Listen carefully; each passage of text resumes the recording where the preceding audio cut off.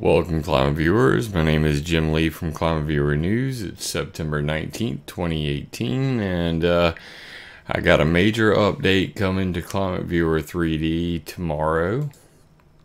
Pretty stoked about this. Something that hasn't been on Climate Viewer 3D in over five years.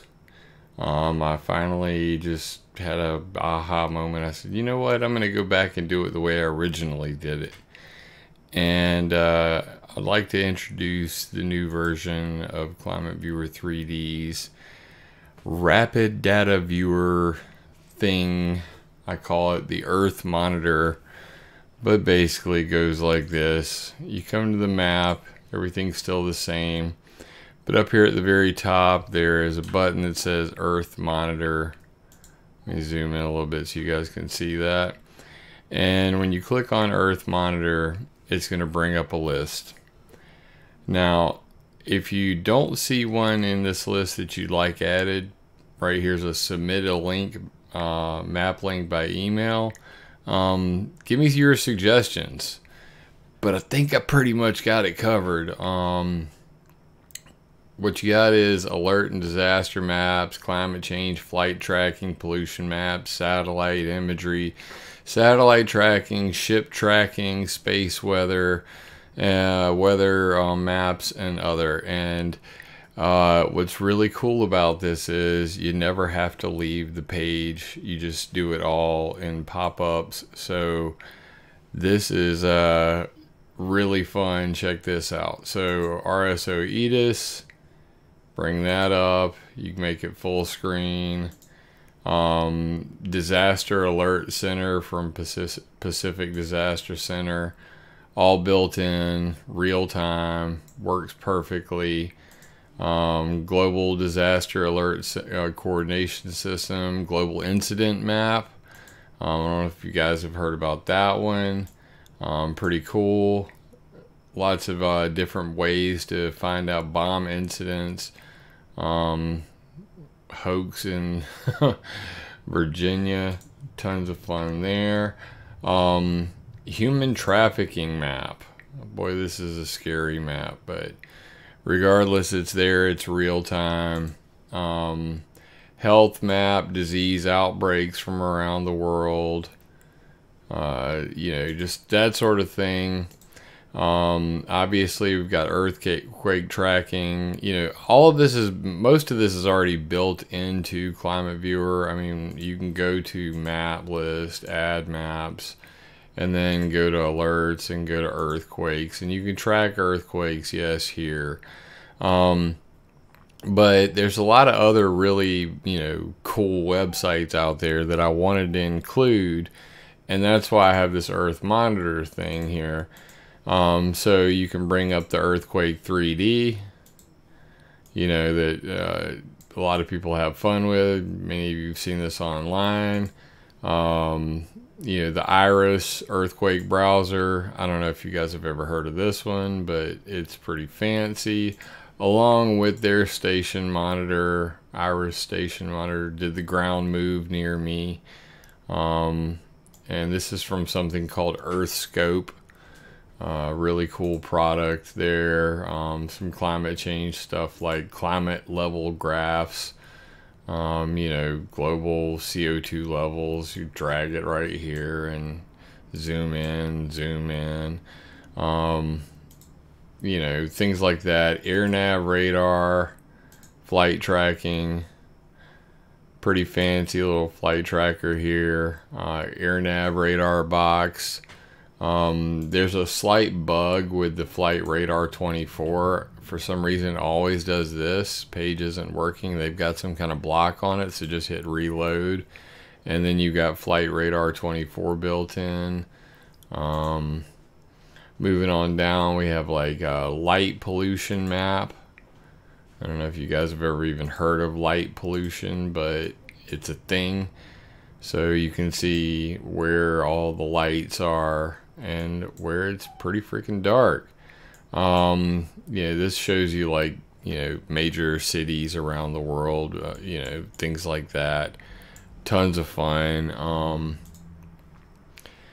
NASA Worldview, most of you are familiar with that one. Um, Worldview is now built in, so if you want to go over there and play with Worldview, it's on there.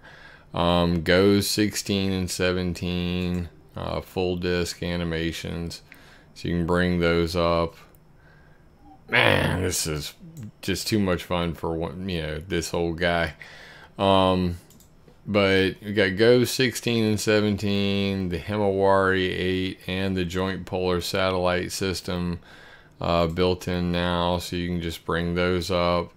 I have a collection of map sites from around the world that would blow most people's minds, and I use all of these to track simultaneously, and I've been working to integrate all of this information directly into the Climate Viewer 3D map. But this is a cool way for me to add you know other things like satellite tracking.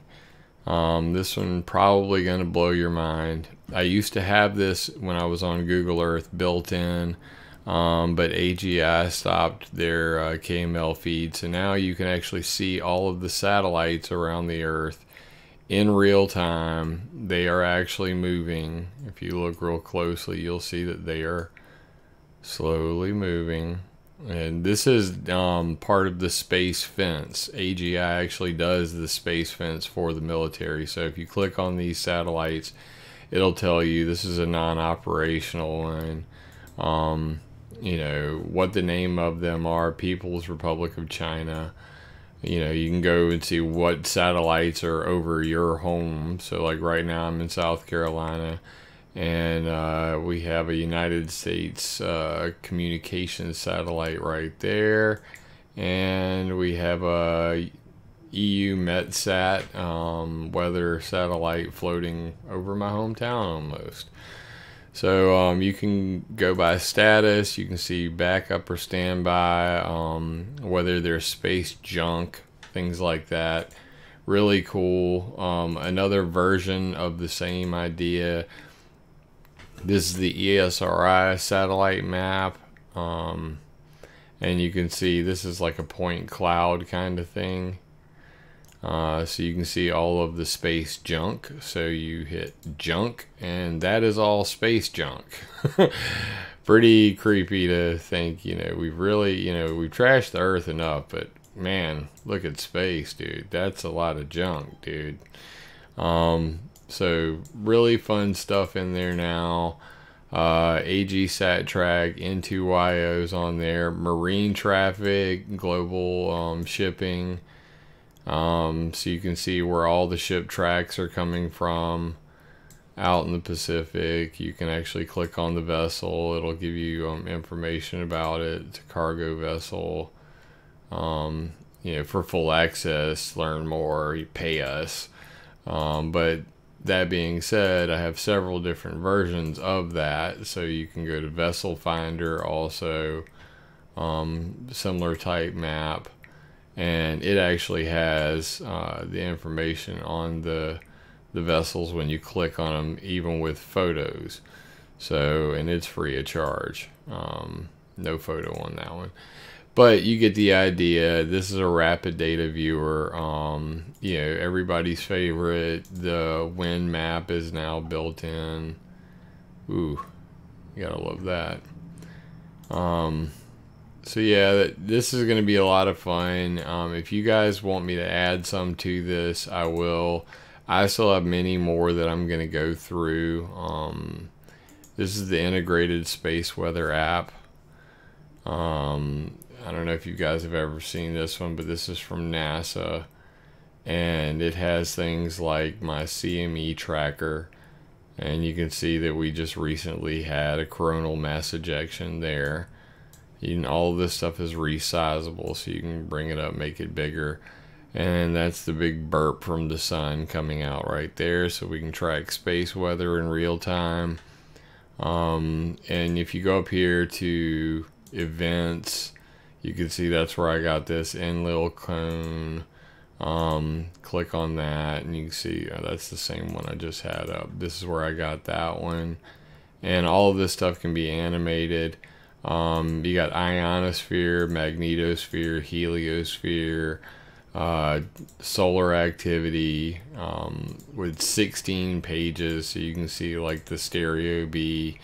Um, you can organize these and you know actually save your layout it'll give you a bookmark so that you can save your own custom settings like you can move these around and place them where you want them um, space weather tracking built in now climateviewer.org um, real earth data viewer map um, another really cool one uh, this one has tons of information on it. Right now, currently displayed is just NEXRAD CONUS hybrid reflectivity mask and global infrared.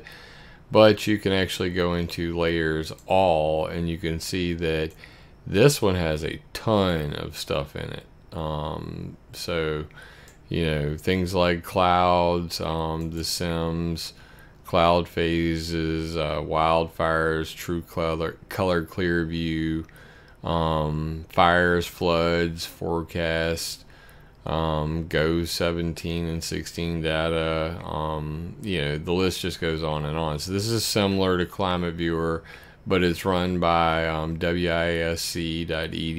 It's called Real Earth. It's another one I use quite often um, the National Mosaic uh, loop so you can actually see the animated version of the NEXRAD in real time. Um, so what I'm doing is I'm going to add in all of my you know monitoring links so that you know everybody can jump right in and uh, be able to quickly jump through them NOAA data, data exploration tool. Um, it starts out in the ozone concentration, so you need to hit back, back, back to go all the way back to the beginning. Um, and then you click atmosphere, true color, you know, things like that. Um, so there's many different maps on here that you guys can go through already. Um, and I'm going to continue to add to this section. I have many more um, links to add to it. But you know just having um, you know these disaster alert maps up here is going to really speed things up for me because I use this daily myself. And I'm sure that you guys are going to you know have fun um, you know digging into some of these uh, drug interdiction map border security aviation incidents globally um, and as you can see like these are all the airline events that have happened recently that's a bunch of recent airline problems. Plane crash with fatalities. Houston police officer mistakenly fires AR-15 at Hobby Airport baggage claim. oh my god. Oh lord. There's nothing like good news, right? Um, so guys, this is coming tomorrow. Um, I've still got a bunch of uh, new features that I'm adding to the map as we speak. Um, I just finished the plane crash uh, list.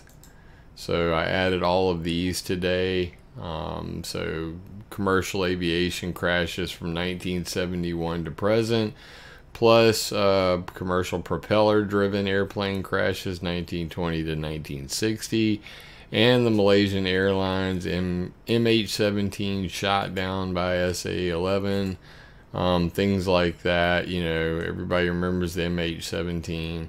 So I'm still adding some of my maps back to Climate Viewer 3D and Climate Viewer Mobile. And I'm to push all this probably up to the website tomorrow. But check out the Earth Monitor. If you know of a really cool map that you'd like to see in here, um, please click the submit a map link button up here at the top. That'll send an email to me and I'll add it to the list. Um, it's to be freaking awesome um, because, you know, the more information we can pack into this thing, the more you're going to know at a moment's glance. And that's the whole idea behind Climate Viewer 3D is to be able to see the entire world at a glance um, to track it all and you know knowing is half the battle as the saying goes so guys uh, that's my update for today i've been working on this most of today i will be pushing this up to the website tomorrow so check climateviewer.org for that tomorrow um, and you know keep in touch. You know, let me know what you think. Um, you know, if you want to leave a comment, you can always hit the about page and come down here and just drop me a comment in the comment section or join the chat. You know, you can click over here, chat rooms right here, and that'll take you over to our um, climate viewer chat on Discord. Uh, we got 189 members over there already. Um, so, you know, be you know just get involved you know let me know what you think um, tell me what you what i'm doing wrong what i could do better i always like to hear um, your comments and uh, i greatly appreciate everybody's support um, i will continue to evolve this map um, that's part of the fun of all of this and you know of course if you can donate by supporting me on patreon paypal or gofundme um, everything I'm doing is for free. Part of it's for fun, but all of it's for you. So, um, you know, this is your world, and knowing is half the battle. The other half is me spending 10 hours today coding on the darn website. So, anyway, I just wanted to drop you guys a quick update because I was pretty pleased with how this turned out. And I'm very excited about this new version. Um, it's going to be pretty cool. Um, you know, ah, man, just super stoked about it. And it's fun to have the satellite tracking back and the ship tracking and the plane tracking. And I'm sure there will be many more additions to this list as uh, people start to submit their links. Um, I have this heads up display uh, folder, as you can see right here. I've been going through this is several years worth of maps that I, you know, have collected um, along with this monitoring link section. I've got sounding maps and all of that. I'm going to be adding all of that in um, so you can dig in. So that's my update for today, guys. I really appreciate you guys supporting me and uh, continuing to use climateviewer.com. It is available at climateviewer.org free of charge. Um, please share it with your friends. Try it out yourself. If it does not work for you, if you come to the front page and you have a black screen and you don't see this map in the background, this 3D globe, make sure that you hit the 2D mobile map up. Um, when you first come here, it says so right here. If this map right here, if this map does not load, please try our mobile app. Um, if you don't have 3D support on your video card, um, if your computer does not support OpenGL or WebGL or your browser does not, this version definitely will work. It is identical to um, Climate Viewer 3D. It's just a flat map. Um, and some of you flat earthers out there will probably uh, prefer the flat version anyway. So it's available at climateviewer.com slash mobile. Um, and then it's called Climate Viewer Mobile. So guys, um, I'm going to continue to plug away on this thing. I had too much fun coding on it today. Um, and I just wanted to make a real quick video and show you guys, you know, the, the latest updates that are coming. And uh, I've still got close to 110 maps to add um, to get it back to where it was um, before I made this major overhaul of the map. So I'll be plugging away at that. And then I've got some, you know, new stuff that I'm going to be adding. I have 10 maps planned right now that are going to be pretty freaking epic. Um, like rocket launch sites worldwide, every single Antarctic um, research base, um, pig farms, you know, where they got the, you know, the piss pools and all that sort of stuff. Um, I want to map out the algae problem down in Florida. Um, a lot on my to-do list and you know we'll take it one day at a time because this is a marathon not a sprint and uh, you know I want to make sure that I have fun again and for me mapping is my fun and for you it's informational and it, it really you know if a picture's worth a thousand words a map is worth several million IMO TBH. So love you, mean it out there. Um, thank you for all your support, and guys, continue to stay tuned to climateviewer.org. Um, the update will probably come late tomorrow, and you'll see the Earth. Mo- when you see Earth Monitor up on the menu bar, you'll know that um, I've updated it. And uh, like I said, submit your links and um, continue to you know spread the word about Climate Viewer 3D. It's you know internet's greatest uh, kept secret. Um, the NSA map guarantees that you know Facebook, Google, Twitter, and the NSA specifically don't really want anybody to see this map to begin with. Um, so it's you know caring individuals like you sharing the map and using it that you know keep it going, and um, I really appreciate you. So you know there's a lot of information packed into this one little app. And with information comes great power, and with power comes great responsibility. So please remember to use this to attack ideas, not people.